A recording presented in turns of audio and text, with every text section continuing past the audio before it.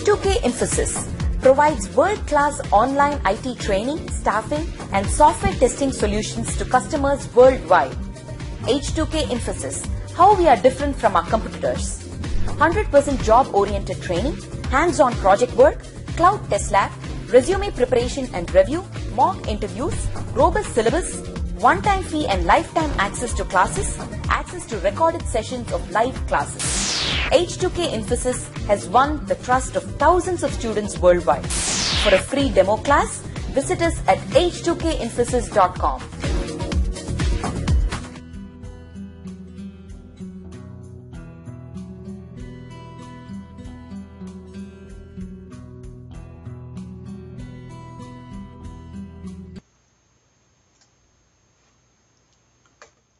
Hey, good, good evening, um, Jairam. Yeah. Um, I have a quick, question. Mhm. I'm trying to um, your uh, project, Mhm. the one that you created for um the JSP and servlets, Okay. it's not showing up on the core. What do I do? I right click and validate. Is that No, all I do? it's not under core. It's it's you'll be having a separate folder. The way you have the JDBC in core Java, you have the similar kind of folder also in there. Okay, if Ah, I okay, go to my need to do- GIT and if I just expand these, if you see, we have already spoken about core Java JDBC and you'll be having something like Servlet Web Pro. Okay.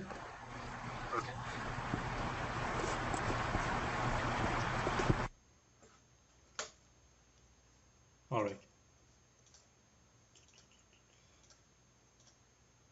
Okay, so for the easier access, I have dumped in couple of, uh, I mean, all the files uh, which we are going to discuss uh, under servlets. Okay, so that uh, I don't waste my time in that. All right, so let's start up. Uh, uh, in yesterday's class, we basically spoke about the request and the response, and uh, there was a question. Let let us start with the with one of the answer. There was a question in which I think Saroja she asked me that what is what is the set content type, and usually you use the set content type as text HTML. Okay, so let us uh, first uh, check the uh, content type as text HTML, and then we'll go back to some other content types also. Okay, so initially very the very uh, starting we saw this in picture. So there is a text HTML, and if you see this uh, servlet, basically this servlet is nothing but you have your hello form, and I have embedded the HTML tags inside the servlet itself. Okay, so this is nothing but uh, all your HTML tags because I want to show this page dynamically. Now, just remember one thing, and I keep on saying this. If you want to uh, display your page in a dynamic way, so you have to either use JSPs or servlets. Okay, you cannot use HTML. Okay, now here uh, we have, um, let's say, let's take this, the hello.html, wherein we have seen this. Instead, I just get, change the name out here. It is the first underscore name, the last underscore name. Okay, so you have the first name and the last name. The moment you submit, what happens? It goes to your uh, servlet, that is your hello form. You have this out here as hello form, and uh, you it comes here and it sets a content type. What is a content type? I'm I just want to print it to the output, and ultimately, let me even comment this out. Okay, ultimately, what happens? Uh, you basically print something to the output and something gets displayed, right? So the output basically gets displayed to the browser here. So if I just run this application,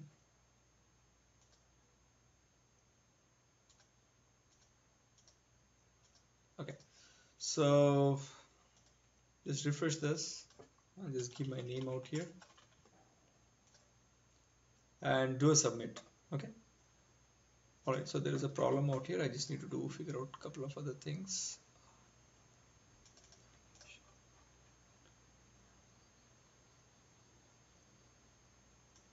Okay. We'll talk about all these things later.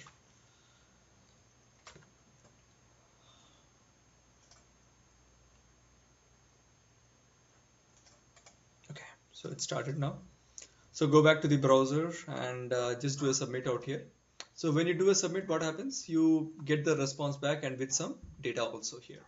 Now, you you know that whenever you you try to access any HTML, you will not get the HTML tags. If I just say right click and view page source, this is nothing but your HTML tags, right? You do not see the HTML tags. Instead, what this browser does is it basically renders and compiles this particular HTML and it knows how to show the content of your HTML. Okay, that's what it shows out here. Okay, but ultimately, if you see your servlet program out here, you are basically writing all this piece of code here okay which is not visible to your eyes unless until you say a page view source. Now uh, here as I have given the response.set content type as text HTML so it is giving me in the form of your text HTML okay. So I there are different content types. I can even say text plain also. So what happens if I say text plain so let me again uh, compile this. Save it.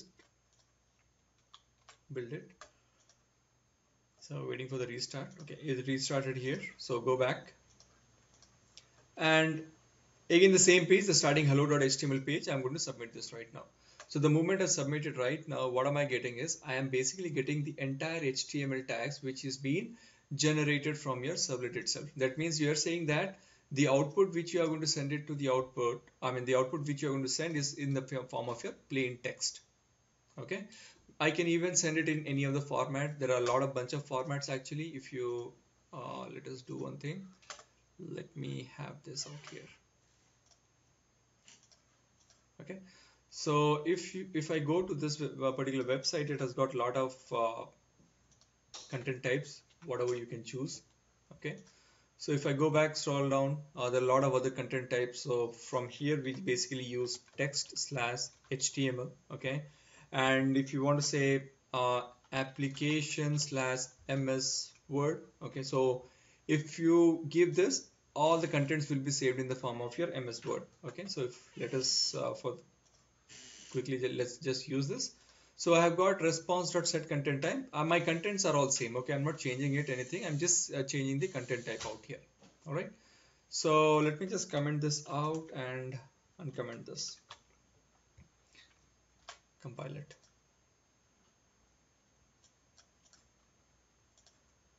Okay, so go back to the browser,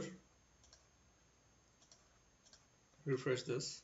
I want to refresh also. I do a submit. So the moment I do a submit, if you see something is getting downloaded here, right? So hello form, something is getting downloaded out here. So if I just go to your, uh, uh, let's say I'll just click on this, it'll give you an option to open that. You can just choose your ms word.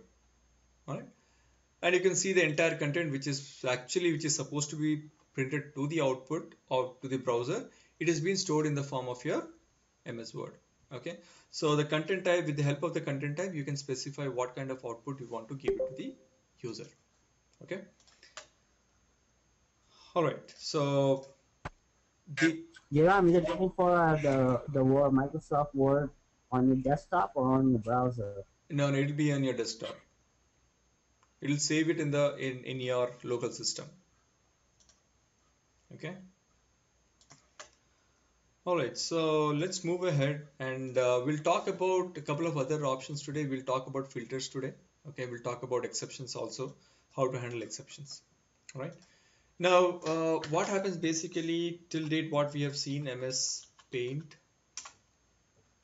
uh, till now what we have seen this is your uh, browser and this is your actual server okay your request basically comes from your browser to your server okay and ultimately you get a response back. All right. Now what happens is uh, uh, I want to do some kind of filtering saying that now see server is all common. Now you might be having multiple browsers and uh, anyone can access your particular uh, server okay? But what I want to do is I want to have some kind of filters in between your uh, when even before coming to your uh, to your actual page. Now when I say actual page out here now here when you say hello.html and you give hello form now what is which particular servlet is going to take your uh, take your request? Who th th there is nothing but your hello form here okay? So the request let's say the request directly come from your html uh, page to your hello form somewhere which is present in your server itself okay? So request comes about here. But even before even getting into it I want to basically add a filter in between saying that I want to do some logging mechanism. I want to uh, do some checks. Let's say I want to do even do uh, let's say if, if, you have a user ID and password you are entering a user ID and password and you're checking whether your user ID and password doesn't match us you can basically stop that request. Now when I say request the request is this request which goes to your actual servlet. So this this request I will stop in order to uh, go into this. Instead I will first come to this filter. This filter is going to if everything was fine, this filter is going to uh, send your request to your actual servlet. Okay. So here in this case, uh, we have added couple of filters. Now let us talk about authentication filter here. Now if you see authentication filter, it is uh, as it is a filter, you have to implement that to a filter. Okay. So it is again an interface out here. All right. Now, as you know, uh, for a servlet, it has got its own life cycle. Now, even your filter has got its own life cycles also. Okay, it has got its destroy method, it has got its init method, and it, it has got its, let's say this is a service method. So this is the method which is going to take up all the requests first. And if everything goes fine, it is going to do a chain dot do filter. Now, if you see the do filter is going to take uh, three parameters. One is the request, response, and chain. Now, chaining means what? If everything goes fine, if if this the request which is coming to the filter if everything is fine your validation is done then it sends the request back to your actual servlet okay? If anything goes wrong i want to uh, give a, give some other response back to the user okay? So that is what uh, is present out here. Uh, if you see here uh, i'm saying here if okay okay. So first let's see what is the filter out here. And uh, the the first time the request comes up and you are just checking the IP address out here okay? I'm just checking what is the IP address and just printing it out here. And at last I'm just doing a chain dot do filter okay? So let us clear this up. And let me access this. So when I do a submit out here even before that let me go back to the servlet and just change the content type to text HTML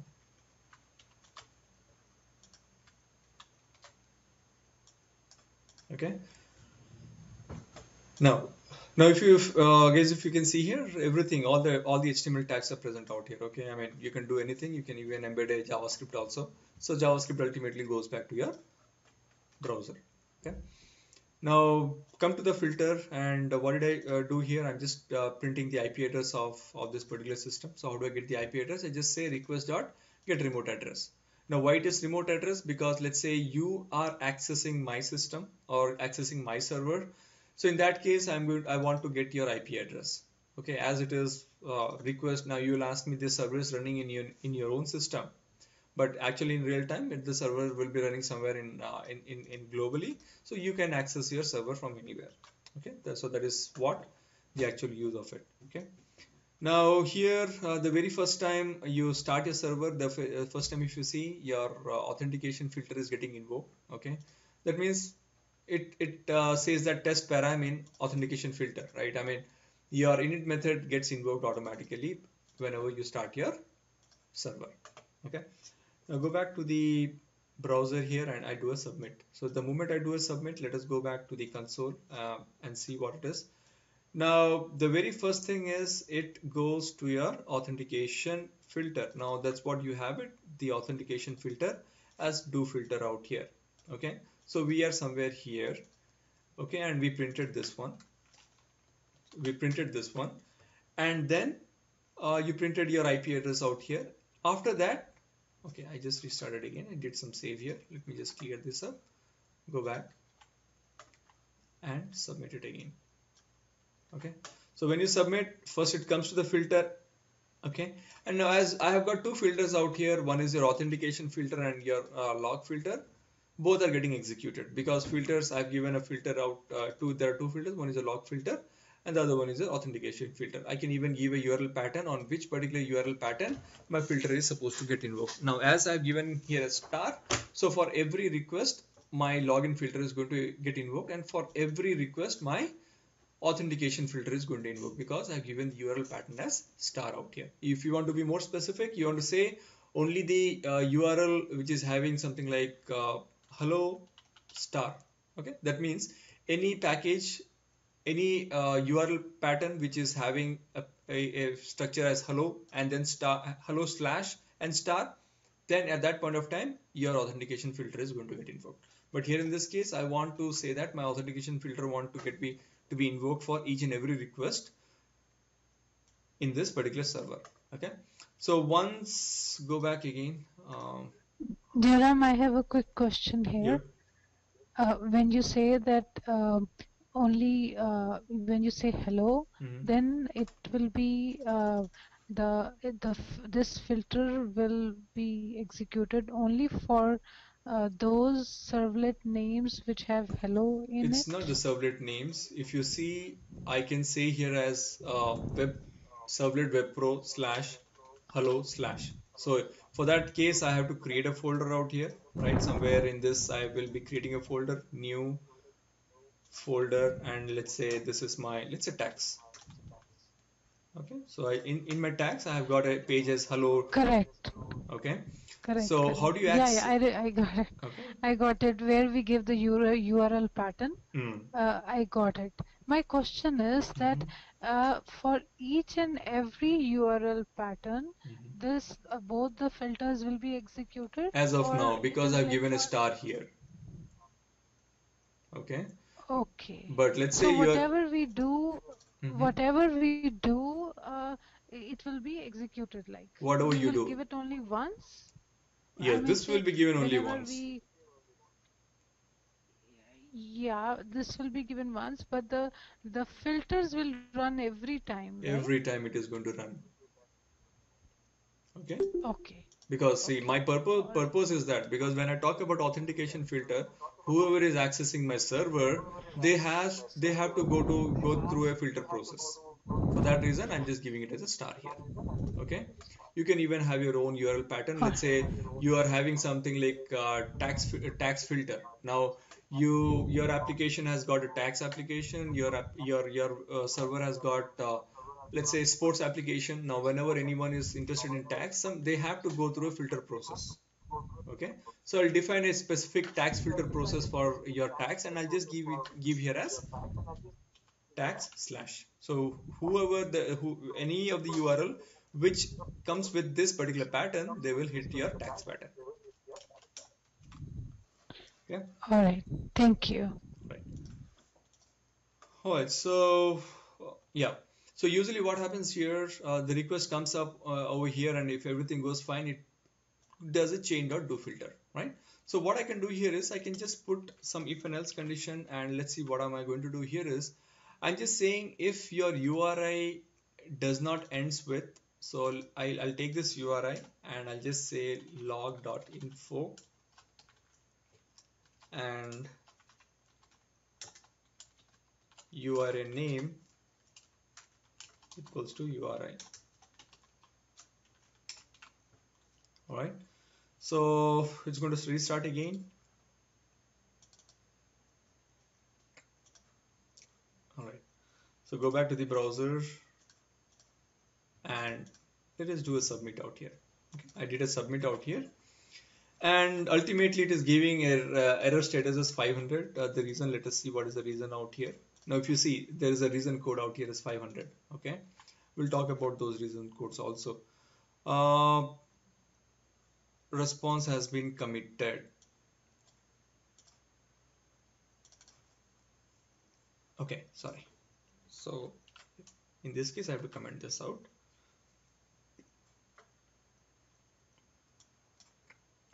So what am I doing here is even though, okay, let me do one thing here. Let me go back to. I'll, just say here hello.html. Okay. So I'm saying that if the URI does not start with HTML, then go to hello.html what am what did I do? I did some kind of filtering here. Okay, so when you say on the response, if you see here, this is your response object in your uh, servlet chaining. Okay, sorry, in your uh, filter, you have got your request, response, and chain here. So from your response, I'm basically uh, converting, uh, casting that to your HTTP servlet response.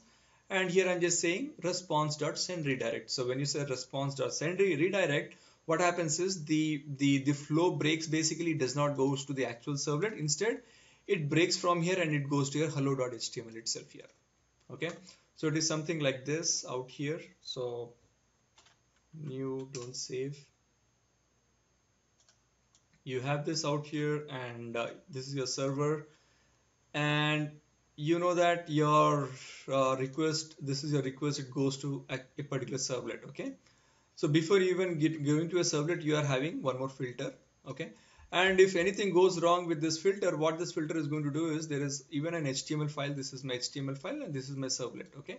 So filter will basically take this html file and give a response back to you. Instead in our previous cases it the request used to come to this particular servlet and the, this servlet is only used to get the response back to us okay? But here in this case we are having a filter and that filter is going to filter out something okay? And due to some reason it is going to give this page as a response to you okay? So let us go back here and see that. I'm just saying URI dot ends with HTML okay? So right click clear go back to the browser Jairam Raut and do a submit. Alright. Now, okay, go back to here. Alright. Now, if you see here, uh, what is what is my actual URI out here? My actual URI is nothing but your hello form, right? So it does not even ends with HTML or it, it does not even ends with your login servlet. Correct? If you see here, my actual URL is nothing but URI is nothing but your hello form here. Okay, so that's what I'm kind, uh, kind of doing a filter out here. Even you can do a username and password validation. Here you can hit the database. Okay, you can get the username and password here in your login filter. Sorry, in your authentication filter. Here you can uh, access your database once you access a database, you do some validation. If that validation doesn't comes up, even you do not take up the responsibility to throw, I mean, give the response to your hello form. Okay. Before that, you're doing something and it is redirecting it to a, another page. Now here in this case, my another page is nothing but your hello.html itself. Okay. So it is redirecting it to the hello.html itself. Okay. So this is one objective for a filter wherein you basically do a filtering of your particular request which is coming to your server. Okay. The other uh, filtering what you can do is you can basically log each and every request which is coming up to uh, this is the same filter. Again the name is only a log filter out here. Every time each and every time you send a request what happens? You are taking the IP address and you are basically you can save this IP address in a particular log file also. Okay? So here what I can do uh, so just copy this. I can okay. Instead of copying this uh, okay I'll do one thing. I'll just push it out here okay? And every time I want to log the IP address information to a particular log file which is present in the server itself. So let me just copy and paste it out here. Right so as you know every time it comes here it uh, does uh, some filtering or you can uh, use this. So let us go back and see what is going to happen here. Uh, again the same thing. I just do a submit instead of doing anything out here. And let me go back to my log file. Now where do you see the log file? If you are running it on in your Eclipse your log file will be somewhere present in your working directory. So that is what uh, I'm running uh, my project is somewhere in my workspace h2k okay so if I just go here uh, this is my workspace h2k under that you will be having metadata. Okay I'll just copy this and paste it to you guys so you can just have it. There's a question out here. Why do some methods have a web filter and others that use a filter like do filter does not use that annotation? So okay. All right so here as you know as you when you talk about uh, filters you will annotate this. Sorry I just missed this out. You just say that this is your web filter okay so you have to annotate that particular filter as your web filter as well. Okay if you see your servlet apart from your servlet extending your http servlet you just annotate with your web servlet. But here in this case you need to say that it is your web filter out here. All right? Okay i pinged you the uh, the the the location of uh, the log file wherein you can find it.